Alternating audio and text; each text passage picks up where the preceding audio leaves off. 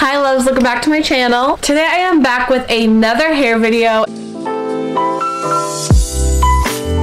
On one of the very first hairstyle videos I posted, I noticed a lot of you guys commented on the video that you like didn't know how to braid, you didn't know like the braids that I did, you like wish you could do the hairstyles but you couldn't because of the braids. So here I am. I promised you guys I would do a braid video. I learned how to do braids really really young from like my mom and my sister. They taught me um, so I kind of want to like impart my knowledge to you guys I guess um, and then teach you some of my like favorite braids because honestly like just knowing a basic braid can make your hair look so cute and you can do so many cute hairstyles with like a simple braid so I'm gonna help you guys have like the cutest hair ever. Let's just get shit in the video. so first I'm gonna start off with just like a normal three strand basic braid. Yeah, that's what I'm gonna call it. Um, the best way to learn this actually, the way that I learned it, is you actually take like three pieces of like string or a rope or something and like tape it to a wall and then actually weave it. So I'll go ahead and like insert a little clip because that's honestly how I learned it and it was so much easier than actually having to like take your hair and like grab a bunch of strands and it get all messed and twisted and yeah. So as you can see, I have these three pieces that I have taped. Um, this is really good way to learn any like advanced braid. Um, so I'm going to start off by kind of just separating each piece. Um, you can either for this, you can use ribbon, string, yarn, literally whatever you need. Um, so basically this is just getting down the fundamentals of braiding. So you're going to start by separating the pieces and you're going to take either outside. Let's start with this one. So say this is A, B, and C. So you're going to start with A and put it into the middle, and then you're going to kind of drop it. Then you're going to take this outside guy, which is C, and put it into the middle now. So A is on the on this back side. And then this is going to be B, so you're going to pull it over into the middle. And you're just going to keep following the same pattern, starting with the left side, bringing it in towards the center, and then taking the right side and bringing it towards the center, and just keep doing that braiding motion. So again, taking the outside, pulling it into the middle, dropping it in the outside into the middle. And then, like I said, just keep doing this until you basically have the hand motion down. This is the easiest way because you can actually see yourself doing it before you actually get into hair because hair has so many little tiny strands. Okay, so I'm gonna flip around to show you how to kind of do it from the back because typically when you do a braid, you'll be doing it in the back. Um, so yeah, let me just flip around and show you real quick. Okay, so you're gonna start off with three pieces of your hair. Make sure you split it into three equal parts or your braid kind of looks wonky. I've honestly learned this the hard way. You're gonna take a piece on whichever edge you decide to pick. And what I like to do is I take my pointer finger, I grab it, drop it with this hand, and then go underneath and pick up the bottom strand, and then drop this one. And then do the same thing. Take this guy, pull it over, grab it with your pointer finger or middle finger, whichever one you want to do. Grab it and then grab it and then grab this bottom one. And again, like I said, so you're going to drop this one, take this finger or pull this one over, take your pointer finger, grab it, drop it and let go. And keep doing this all the way down. And personally, because I do have longer hair, I like to kind of flip mine in the front or else it's like awkward trying to like manipulate it in the back and my arms end up hurting. So I was just like flip it to the front. So here when you do this, you're just to kind of reverse how you were doing it. So instead of bringing the braid to the front, you're to bring it to the back now because we're reversing it. And then just keep doing this all the way down.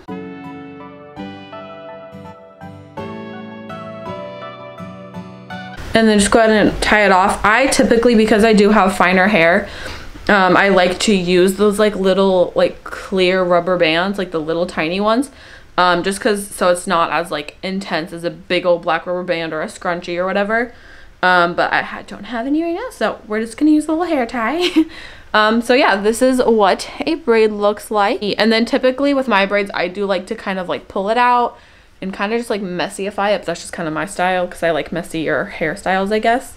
Um, but yeah, this is like the most basic braid you'll know. This braid is like the stepping stones to everything else that I'll kind of show in this video. Okay, so next is a French braid, and this is kind of just like a escalated version or a more intense version of the normal braid. It's the same technique, except we're just doing it all the way down our head instead of just like a few strands just chilling. It's like actually like integrated in our head, I guess. I don't know. so again, I'm gonna flip around to show you guys. Okay, so again, we're gonna start off with three parts and this time we're to start at the top of the head. So I like to take my thumbs and grab a kind of do like a U shape with your thumbs, meet in the middle and pick it up. And then after you do that, you're gonna split that section into three parts. And then again, you're gonna take this piece, grab it with your middle finger, grab it with this hand, and then do the same thing with this one on this side. And then here's where it gets tricky. You're gonna take your thumb, after you um, we, like braid both ends in, you're gonna take the end that you started with, take your thumb, scrape it along your forehead, and grab a little piece of hair all the way basically from where your hair starts to, to where your braid's going to be down your head. And you're going to take it and wrap it around just like you would normally do with your other piece. So again, you're going to take your thumb, drag it across, grab a bunch of hair, add it to that original piece, and then fold it over. And then again, just keep doing that all the way down. So here I'm grabbing a piece, adding it to the original piece, and braiding it over.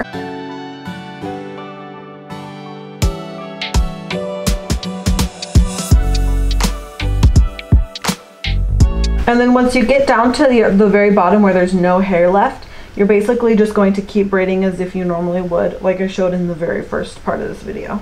And then again, we're going to just braid like we did normally in the front, again, because it's tiring to braid like this the entire time, so just pull it to the front, make it easier on yourself.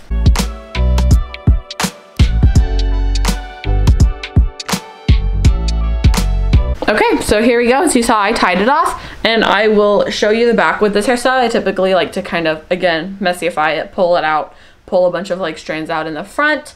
Um, so this is how my French braid turned out. As you can see, it starts all the way up here and goes all the way down. For this braid, you can honestly either do it like very loose and kind of just like hanging, kind of just like sagging down, uh, kind of very like more messy, loose, kind of like a chill look, I guess. Um, or you can do it a lot more tighter.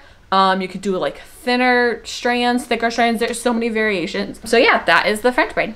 Okay, so next is going to be one that is very similar to the French braid and the normal braid, but again, it's like a little bit more advanced. It is the Dutch braid. This personally is my favorite braid just because it kind of makes the braid like set off of your head, if that makes any sense. Like it's like, I don't know how to explain this. Basically with this braid, instead of, it's like a normal braid, but instead of putting the pieces in, you put them underneath so the braid is like actually like kind of sticking up, I guess.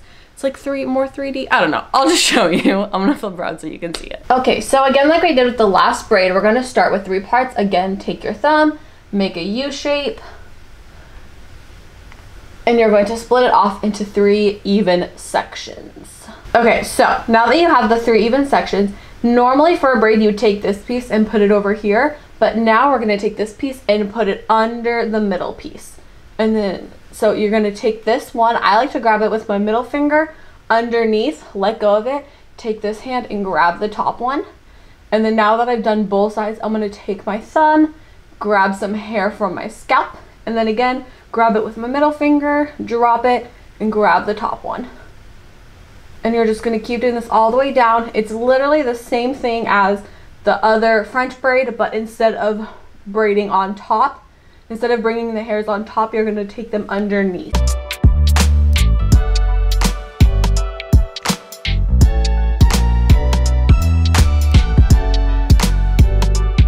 Okay, now again, we are at the bottom just like before, so this time just continue the same hand motion, and this time we're going to take the braid and again, pull it underneath. and then we're gonna flip and just keep doing. And so now we're gonna bring it kind of this is gonna feel more like a traditional braid. So now we're gonna start weaving them in front because again when we bring it to the front we kind of reverse it.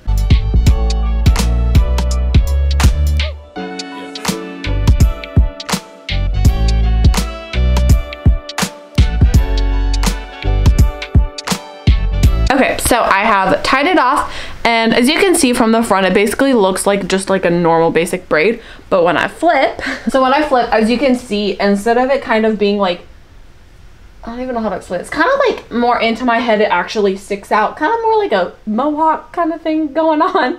Um, so yeah, you can see right here that the braid is on top of the hair. So I personally like to use this braid um, whenever I'm doing like any small like braided detail. So if I'm doing like a braid that's going across my head or it's really popular. The thing that made it really big was the boxer braids like the two double braids. Um, most people use this hairstyle for it. Um, but yeah, it's really good if you have um, either not a lot of hair or fine hair, or if you're just making like kind of a small braid and you want it to kind of stick out more. I feel like when you do a normal French braid, it kind of hides in and it's not as obvious. But when you do this, it just makes it more obvious and makes the hairstyle look so much cuter. Okay, the next hairstyle is going to be the most the most advanced out of all of them. Um, it is the fishtail braid. I love this braid. It's so pretty. I don't do it a ton just because it does kind of take up a lot of time because it's very, it's honestly very tedious, but it's so freaking pretty. Um, I'm going to do a normal and then I'll show you how to also make it into a French I don't know if it's considered like a, fr I call it, I call it a French fishtail. I don't know if that's what it's called, but that's what we're gonna go with. Um, so I'm actually going to just show you, like, I'm gonna take my hair, split it in half and show you on like this half right here, just cause again, like I said, it's kind of hard, kind of confusing, kind of tedious. Um, so this is probably the easiest way. You're gonna start off by splitting your hair into two pieces. Um, make sure they're even, because if not, it definitely does mess up this hairstyle a lot. So how I do it with like how I move my hands to make this easier for me personally, first I take my thumb and you're going to reach underneath like this, go through it, pull a piece of hair from the bottom, and then kind of like twist your wrist and then take your pointer finger and grab it and pull it onto the other side. And then again, you're going to do the same thing. So take your thumb, pull it underneath and through to pick up a little tiny piece of hair pick your pointer finger or take your pointer finger, grab it and move it over. And you're just going to keep doing this all the way till you get to the bottom. Um, with this hairstyle, it's best if you use like super thin pieces because um, the thicker you go, the more it tends to look just like a normal braid. But if you do really thin pieces, it looks more obviously like a fishtail. Um, so yeah, you're just going to keep going. Again, like I said, pick, un pick a hair from underneath with your thumb grab it with your pointer finger, pull it across to the other side, and then keep doing that all the way down. As you can see, this is why it takes so much more time. One, the handwork is just like kind of awkward, not gonna lie. And it has to be so tiny piece. It, like you have to use such tiny pieces that it just, it takes so long, but it's so pretty. And if you guys can't tell, this side is a lot smaller than this side now just because I guess I was grabbing bigger set pieces on this side of my like braid than this side. So the way to fix that is to just grab kind of like a big piece on the side that's thicker and pull it over and then make sure you pull a super tiny piece on this side and pull it over. So you're kind of like adding more hair to the so to the thinner side. Um so you're kind of like evening it out I guess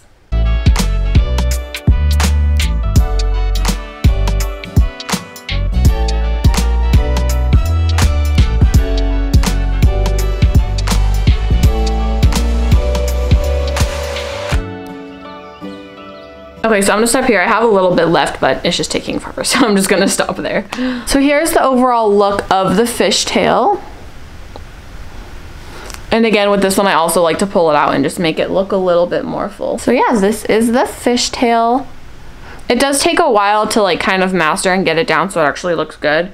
Um, so I would recommend practicing. Okay, so now I'm gonna show you again, like I said, the French fishtail. So again, I'm gonna flip around so you can see the back. Okay, so just like the last one, we're gonna take our thumbs and make a U shape, except for this time we are only gonna part it into two parts. And again, make sure they are even. Okay, so for this part, we're gonna do kind of like we did last time and do one piece before we actually start getting into the like, I don't know, adding more hair into it, I guess. Okay, so now that I've done one on each side, you're gonna take your thumb and pick a super thin piece. And then instead of basically do what we did for the braid, so you're literally just gonna grab it with your pointer fingers, drop it, grab the bottom one, and then add it to this piece. So it's kind of confusing. In this hand, I always have like one piece like in three fingers kind of in my palm and then kind of like pinching the other piece.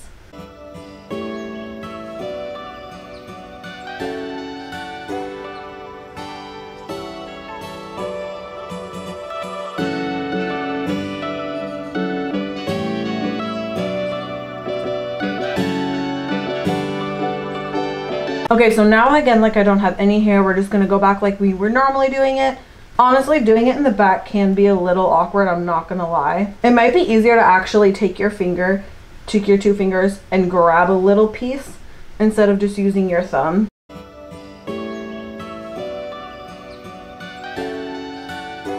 And then because my arms are burning, I'm gonna flip around. Okay, so again, we're gonna bring it forward.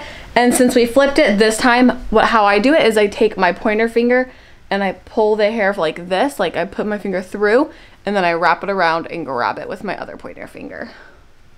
So again, take this pointer finger and like the finger that you're trying to pull the hair from, push it through, grab a little piece, twist your wrist, grab it with your opposite pointer finger and let go. And then just keep doing that all the way down.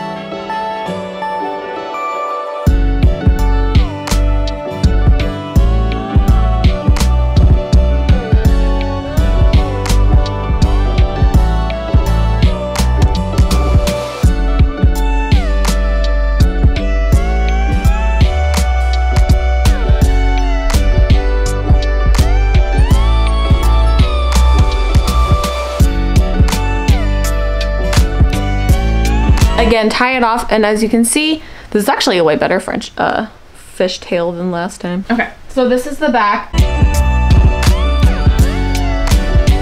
So fishtail braid is more of like a, I would say fancier one. Um, if like the normal braid is kind of more casual and comfy and this one is kind of more like dressed up as you can see in the back it was very very kind of more of a pretty look I guess um, so if you want more of like a fancy braid, I would definitely go for this. So that is the end of this video. Um, I hope you guys enjoyed those different braids. Don't forget to follow me on all of my social medias. I will have them linked down below. Don't forget to like, comment, subscribe, and hit that notification bell. So next time I upload, you guys get notified. If you like the video, please either like or comment so I know you guys like this kind of content. Um, so I know what you guys are wanting and I know what you guys want to see. Um, and I love hearing your feedback. Thank you so much for watching and I will see you in my next video. Bye.